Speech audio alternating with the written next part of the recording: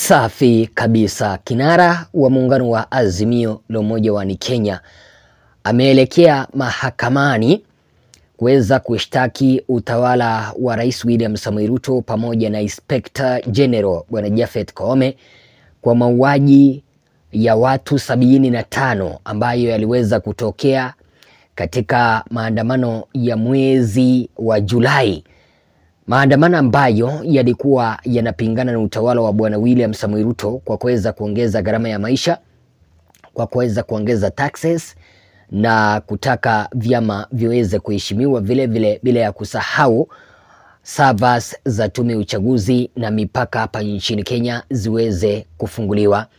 Odinga ameweza kuorodhesha matakwa ambayo anataka yaweze kufanyika katika habari ambazo nataka niweze kukujuza. William Samoei Ruto sasa ndio kimeanza kumramba, lazima ataweza kucompensate zile familia ambazo ziliweza kupoteza wapendo wao pamoja na zile familia ambazo wapendo wao waliweza kuumizwa kipindi cha maandamano. Nataka niweze kukuambia kila kitu ambacho kimeweza kuonekana ndani ya barua ama petition ambayo muungano wa Azimio wameweza kufaili katika mahakama ya hapa nchini wakitaka haki iweze kutendeka. Langu jina nafahamika kama Mr. Eagle 8 ukipenda Ezra Osiemo.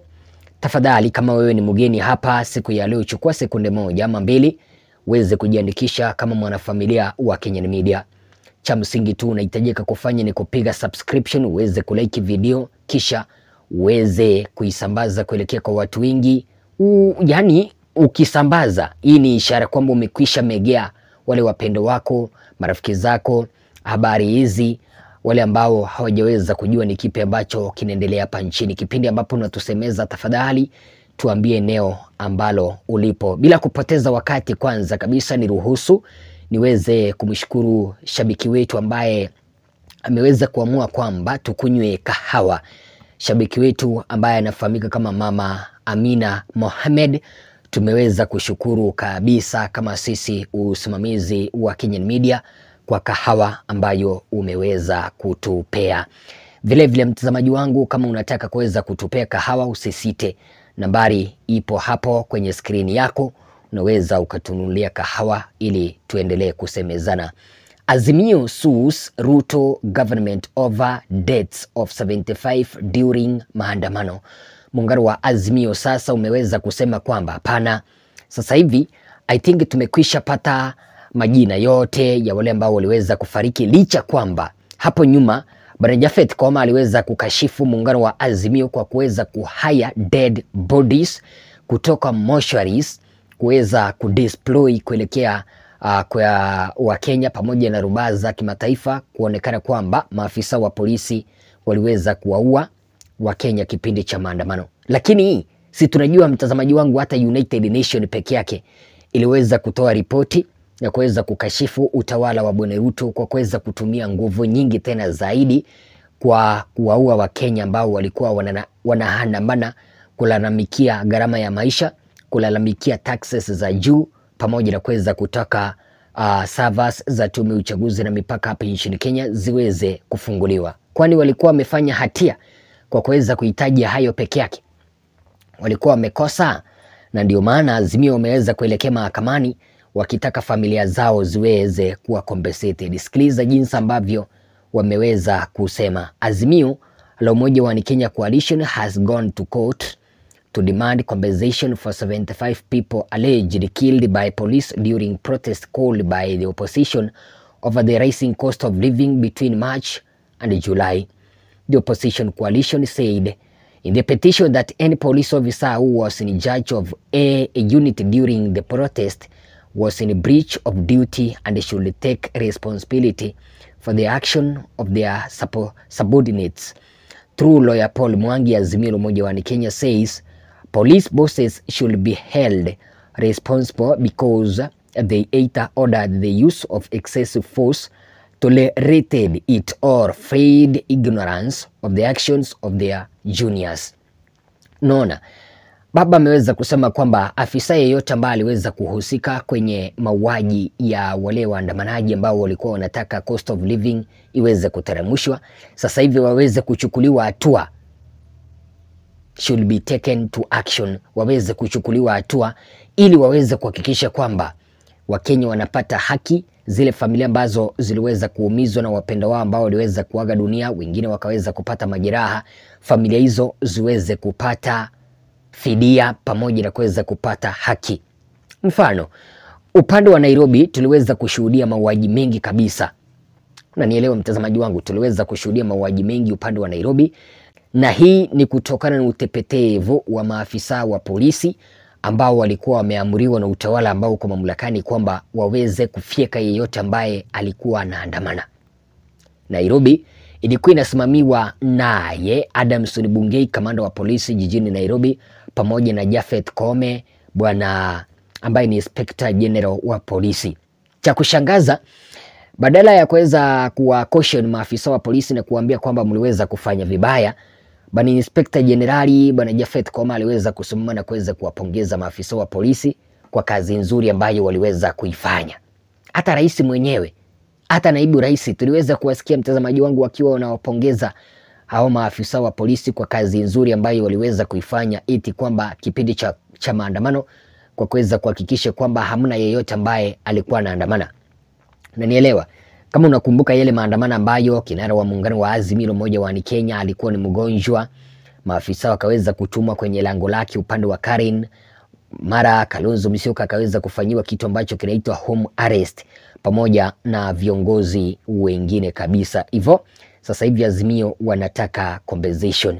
Nikiweza kunukuu petition ambayo iliweza kuwasilishwa na muungano wa Azimio kwenye bunge, iliweza kusema kwamba the petition seeks justice for the 75 deceased persons and their families and for any other pers persons deceased or injured who were victims of police brutality during the said period, uh, stated the petition filed by Mr. Paul Mwangi. The petition wants the court to issue a declaration that the doctrine of command responsibility is applicable under the Constitution of Kenya uh, to members of the National Police Service in a, a discharge of their duty. Unajua kitu, ne, kitu ambacho nashangaa Je, mahakama itaweza kutoa uamuzi ambao utakuwa unaridhisha Wakenya wote?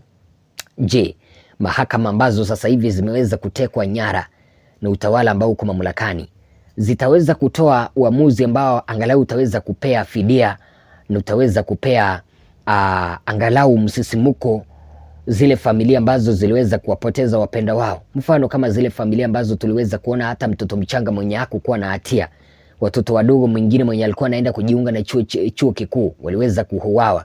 Je, serikali ama mahakama itaweza kuamua kwamba sasa maafisa wa polisi waliweza kukiuka katiba ambayo inahitaji iwapo ama ambayo inaruhusu Mkenya wa kawaida kuweza kuandamana iwapo kuna penye ambapo anaona kwamba mambo hayaendi vizuri?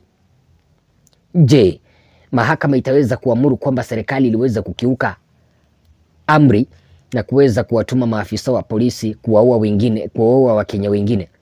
So uliweza kuona watu kama vile upande wa Kisumu, Kondele, watu walikuwa wanatolewa kwa nyumba na maafisa wa polisi wanachinjwa, mtazamaji wangu, bila hatia yoyote. Je, haki itaweza kupatikana kwa watu kama hawa ambao walikuwa wanatolewa kwa nyumba wanachinjwa? Tuelewane tu, tunaulizana tu hapa hivi, haki itaweza kupatikana kwenye hizi koti ambazo sasa hivi zimeweza kutekwa nyara na, ma, na utawala ambao uko mlakani. In addition to compensation for the victims, the opposition coalition wants the court to compel government agencies to investigate and conduct inquiries into the actions of senior police officers that led to the deaths of the 75 people. Azimio pia wanataka kuna hizi agencies kama NGO kuna hii ya naitwangaji, kuna hii ya uchunguzi aipoa kuweza kupewa ama kuamrishwa kufanya uchunguzi waweze kubaini ni kitu gani kiliweza kusababisha mpaka serikali kuweza kuamrisha maafisa wa polisi kuwaua wananchi. Na hata baada ya maafisa wa polisi kuweza kuwaua wananchi, tuliweza kuangalia ama tuliweza kuona Inspector General akiwa anawapongeza maafisa wa polisi kwa kazi nzuri ambayo waliweza kufanya eh? The lawyer said the police were bound by the general international, uh, by the general international law principle of command responsibility and ought to take responsibility for actions that led to the, uh, to the deaths. The petition said the Inspector General of Police, uh, Police Jafet Kome is obligated by the Constitution to, compare, to comply with constitutional standards of human rights and fundamental freedoms. Bwana Japhet Koome kulingana na katiba inamwambia kwamba aweze kutumia mamlaka yake kulingana na katiba, sio eti kwamba aweze kukiuka katiba na kuamrisha maafisa wa polisi kuweza kuwakimbiza wananchi pamoja na kuweza kuwaua wengine. Hiyo ni kwenda kinyume na katiba ya Kenya. Wasije wakasingizia eti kwamba walikuwa wanachunga mali ya Wakenya yasije yakaharibiwa, mali ya Wakenya yasije yakaibwa. Unaona mtazamaji wangu, Mr. Mwangi said the police boss had issued a statement banning all demonstrations countrywide and went ahead to unleash officers who meted violence on the peaceful demonstrations. Unaona mtazamaji wangu, sasa the Inspector General of Police Service further denied he said deaths and, and accused the opposition coalition of hiring bodies during the protest to taint the image of the police uh, service. According to Azimio, the 75 names listed in the petition were received from across the country for families who lost their, their loved ones during the petition. Unaona, Azimio wameweza kusema kwamba bwana Jafet Koome aliweza kuenda kinyume na katiba na kuweza kudeklea kwamba maandamano yoyote ambayo yataandaliwa nchini ni kinyume na sheria, kipindi ambapo katiba yenyewe inasema kwamba kama kuna mahala ambapo unaona kwamba serikali haijaweza kufanya uh, kazi vizuri, uko na uhuru wa kuweza kuandamana na kupicket uh, kuweza kuishindikiza serikali kuweza kufanya kazi vizuri, lakini waliweza kwenda kinyume, waliweza kwenda kinyume, mtazamaji wangu, na hapa vilevile vile Azimio wameweza kumkosoa na kuweza kutaka bwana Inspector General aweze kuchukuliwa hatua kwa kuweza kusingizia kwamba na kuweza kuchafulia Azimio la Umoja wa Kenya jina kwa kusema kwamba Azimio waliweza kuhaya dead bodies from mortuary, yani waliweza kuhaya miili ya wafu kutoka kwa mochari hifadhi ya, ya wafu kisha kuweza eti kwamba wakiwa wanataka kuchafulia maafisa wa polisi jina. Swali langu ambalo nakuuliza mtazamaji wangu, je, hawa Wakenya ambao maybe familia zao ziliweza kupatwa na msiba kwa wapendo wao kuweza kuuawa, wengine kuweza kuumizwa, watakuja kupata fidia? Watakuja kupata haki kutoka mahakamani? Ikizingatiwa kwamba Azimio wameweza kufikisha kesi wakitaka zile familia ambazo wapendo wao waliweza kuuawa waweze kupata fidia pamoja na haki iweze kupatikana. Je, wataweza kupata haki kwenye hizi mahakama ambazo sasa hivi zimeweza kutekwa nyara na utawala ambao upo mamlakani? Kama unaona kwamba familia hizi zitapata haki, tuambie kupitia kwa kitengo cha commenting section.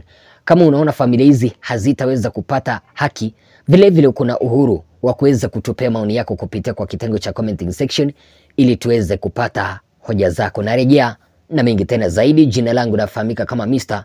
Eagle 8.